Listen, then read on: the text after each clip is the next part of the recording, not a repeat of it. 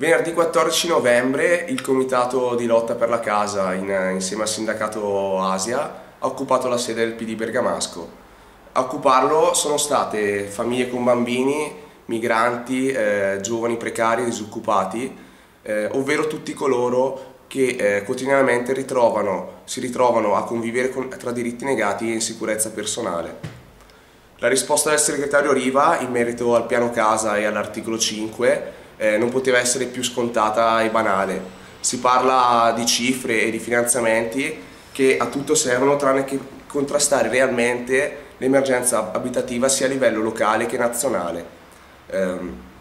il vero dato su cui ragionare deve essere eh, il numero degli sfratti per morosità incolpevole, 200.000 tra il 2011 e il 2013 e eh, quindi il numero delle famiglie che in seguito alla perdita del lavoro non possono più permettersi di pagare un affitto che hanno sempre onorato. E eh, il fondo per la morosità incolpevole ovvero il 90%, che sono il 90% degli sfrattati in questo senso rappresenta solo delle briciole ma serve creare davvero un piano eh, che blocchi l'emergenza abitativa quindi bloccare gli sfratti che sono continuamente in aumento eh, rilanciare il patrimonio pubblico visto che è in continuo smantellamento e in questi giorni c'è stato il decreto attuativo che permette appunto la vendita delle case popolari, eh, finanziare l'autorecupero, la requisizione dello sfitto, eh, sono tutta una serie di provvedimenti che possono essere applicati che non vengono applicati, mentre sì, si spendono soldi solo per far finta di affrontare un'emergenza che è una delle più grosse emergenze del paese.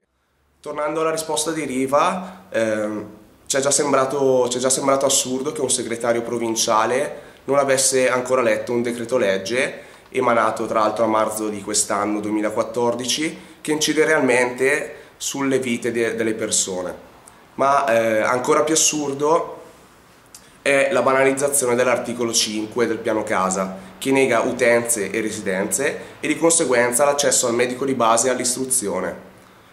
Se le politiche abitative eh, continueranno ad andare nella direzione di negare il diritto alla casa, eh, ci vedremo costretti a prendere casa nella loro sede. Il segretario Riva eh, citava che eh,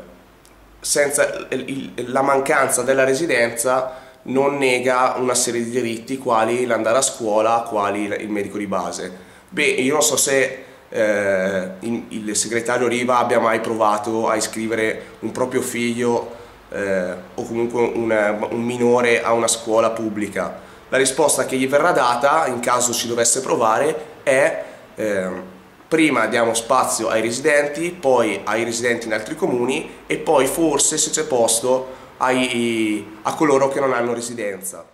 Ma diciamo che i media sia locali che nazionali eh, fanno troppo uno, un comodo uso di questo termine, dei centri sociali. Eh, gli anni sono passati, eh, esistono i centri sociali ma esiste, esistono anche le persone che si auto-organizzano, eh, affrontano i propri problemi quotidiani e, e, si danno delle risposte in modo autonomo. Eh, esistono i movimenti di lotta per la casa, i movimenti in difesa del territorio, eh, i movimenti che lottano per un lavoro dignitoso e quindi sembra banale e scontato e quindi troppo facile per eh, i, i media eh, utilizzare termini che poi attaccano, attaccano molto di più sulla gente. Pregherei il, eh, a nome del comitato e a nome di tutti eh, i movimenti di lotta per la casa, pregherei il segretario del PD eh, di informarsi e di non, di non dire cose che eh, poi si riflettono sulla vita della gente.